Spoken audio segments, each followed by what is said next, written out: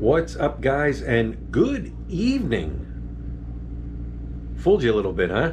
It is evening time. Usually it's what's up, guys, and good morning, but it is evening time. Um, it's the end of the day here, and uh, what a great day it was. What a great day it was. Um, remember, guys, I'm I'm not an expert on diving. Um, we're beginners. We're learning new things every time we go down.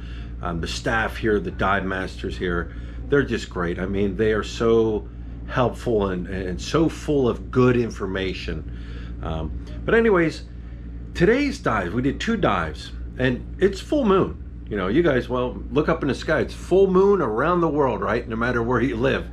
Um, and then there's there was an eclipse the other day.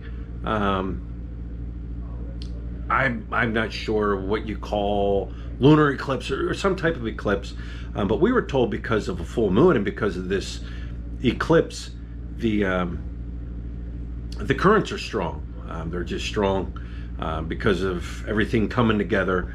Um, so today we did two dives, like I said, and we did some drift diving today. if you're not if you're if you're not a diver, you don't know what a drift dive is. A drift dive is basically when you get in the water, the current's moving, and you just drift along with the current. Um, so we did those two dives. Um, it wasn't all drift diving. I would say we drift dived for maybe a good 10 minutes, 15 minutes, and then we got to an area where we could get out of the current and get into some areas where it wasn't as strong and check things out. um, but wow, what an amazing day! We we seen some things that you know you, you'll see things that uh, you normally see when you go under, but then there's things that are just new. They're just new and exciting, and um, you never seen it. And you know, having good dive masters and guys that have been in the water around here so much, they know to look for things. I mean, I'm swimming right by them, and you know, they're banging their tank uh, to get your attention, and you get over there, and it's like, wow, I, I didn't see that. Um, so yeah, it was a great day. Um, tomorrow we're doing two more dives. Then I think we're going to take off a day and do some exploring around here. Check check a few things out. So, anyways, guys, um, with that, you know what? Enjoy the video. All right, guys, so here we are in the water. Got to do the selfie. Do the old selfie selfie. Everything's okay. Thumbs up to you, Jerry. Thumbs up to you, Big Jerry. And there's Lut. Lut's just hanging out, doing her thing, enjoying her dive, giving me a smile. Then bam, right away. We weren't in the water but five minutes, and there, there was the turtle. That's what's called a hawk's bill turtle. If you look at his nose, kind of has like a little beak, like a hawk. Therefore, he's called the hawksbill turtle. He had a piece of coral there. Must have interrupted him in his lunch. He's just munching away and flipping it up, flipping it down. Now he's like, you guys are bothering me in my lunch, leave me alone. Turns to the guy to the right and like almost puts his face right in the camera, like he's posing for his picture, his photo op. And he says, okay, that's enough. I'm out of here. But wow, what a beautiful, beautiful creature. Then I came across this. This was a pufferfish. There's so many species of pufferfish in the water, big ones, small ones, but this was probably the biggest pufferfish I've ever seen.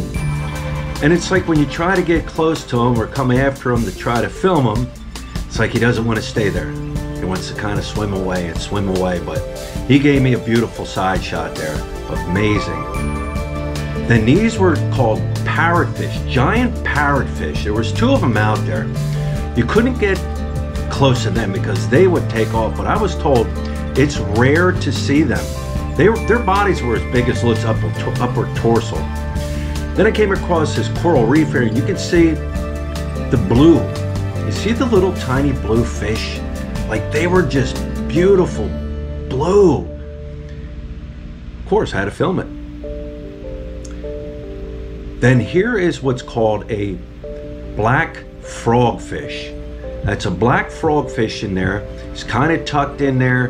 Can't really see him unless you come up on him, but that's a black frogfish. Then we're just kind of hanging out, doing our thing, and all of a sudden, boom, there comes another turtle. Now, this is a green turtle, different than the hawksbill, of course, but she just kind of swam in, swam through, kind of like, hello, everybody.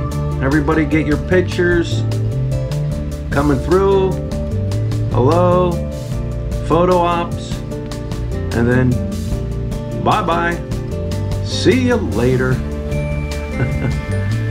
These are what's called nudibranchs. There's two right there. Hang on. Right on the top there. They're like a purplish and a white color. They're maybe the size of your pinky. My camera cannot focus on them too well. I'm just using the GoPro. Um, but they're just so colorful and they're just so neat to look at. Then there was one tucked up under here, but they're neat to see. These were just cool.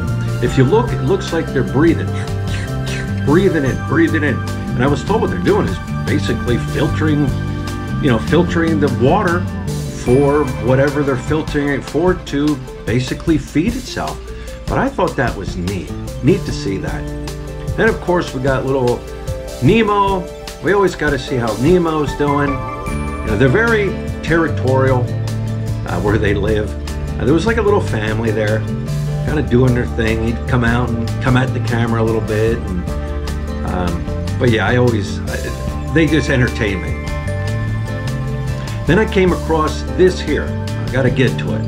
This here is what's called an electric scallop. I can't, I, it takes me a while to find it because they're tucked. There it is. See little hairs hanging out of it and stuff. Um, but evidently, you'll see coming up, the it, it looks almost like electric going back and forth. But I was told there are lips in there, and it just reflects the light. And I slowed it down. You can kind of see it. It looks like electric going back and forth inside there. But they that's something I never seen. They were definitely cool to see. Here's another, I came across this guy. You can kind of see the head of him and it looks like he's like a snail without a shell. Don't ask me what it is. Apologize about the focus once again. Then I came across, this was the coolest thing I seen. This is a hairy orangutan crab. If you see him sitting there, he's hairy, orange like an orangutan, but it's called a hairy orangutan crab. That was definitely the coolest thing that I seen on the dive. All right, guys, the sun is starting to go down. Another beautiful day of diving. Uh, Lut and I were going to just take another stroll. Lut and I are going to take a stroll out here. Right out here. Um, the reason, first of all, I got to show you this. We've seen this today, right? Mm. And we asked the people tira, work here. We said, "What, what the heck is this box thing?" It was beeping before, right? It was Yeah, like beeping beeping, like making a noise and beep. beeping. And we're like, "What is this thing?" You know what this is? It's a Cat. cat chaser. Chaser. I guess it puts off a frequency, and then the cats don't like the frequency, so they take off running when this thing goes off. I'm like, all right, I've never seen anything like that. But anyways, we're heading out here. The reason it's like this, um, it's because of the full moon. Yeah, they said the tide's out like this because of full moon. Because when we were here before, it was never out this far. Um, and we were here during the full. It could be like the whole mixture of everything. Wasn't there some type of eclipse or something like that that was going? It could be a mixture of everything. Um, but it, it was kind of weird when I first seen it. it. It reminded me, oh shit, there's like a tsunami getting ready to hit. You know, that's what it kind of reminded me of. Um, we're just out here looking around, Oh look. see if we can find some critters. He's kind of smashed. Yeah. He smashed the sea urchin there. That fella didn't make it. Four. Four little sea urchin. but you definitely want to wear shoes when you walk around in low tide water like this because you don't want to step on a sea urchin.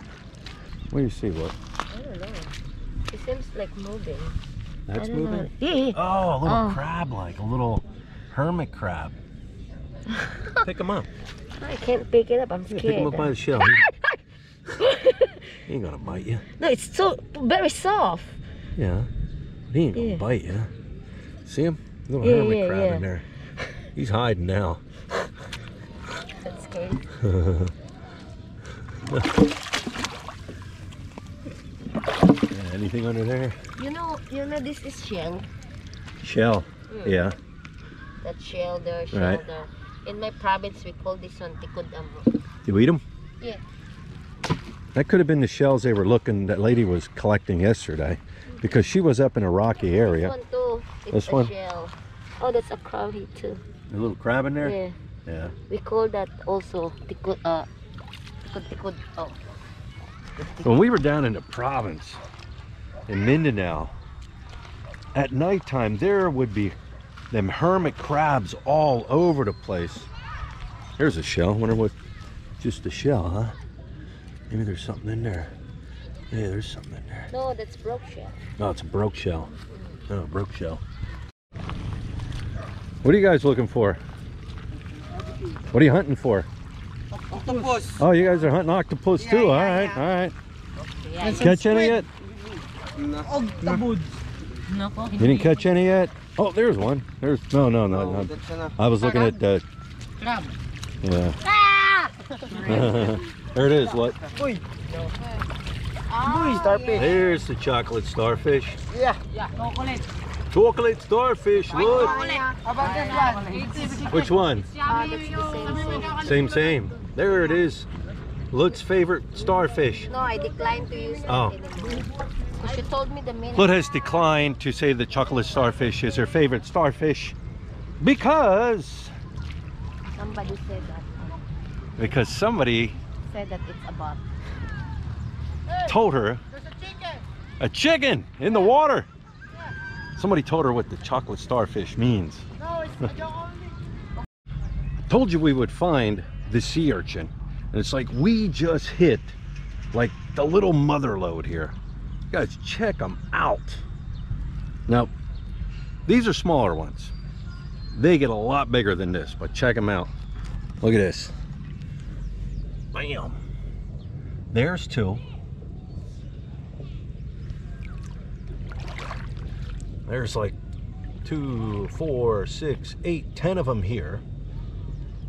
You can see if you look real close, you can see the little, it almost looks like a little orange eye Oh, there's a baby in too. there. Look.